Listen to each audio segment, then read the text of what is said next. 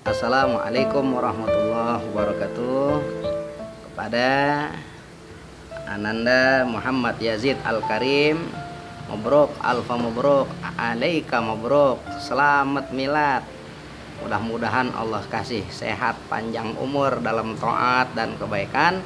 Mudah-mudahan Yazid Allah jadiin anak yang saleh, anak yang taat sama Allah dan Rasulnya, anak yang berbakti kepada kedua orang tuanya, dan mudah-mudahan Allah jadiin Yazid nanti uh, jadi kiai ya, jadi kiai kiai yang saleh, yang alim, yang amil bisa ngamalin ilmunya dan bisa banyak bermanfaat buat agama, nusa dan bangsa. Selamat Yazid ya. Assalamualaikum. Terima kasih doainya Kiai.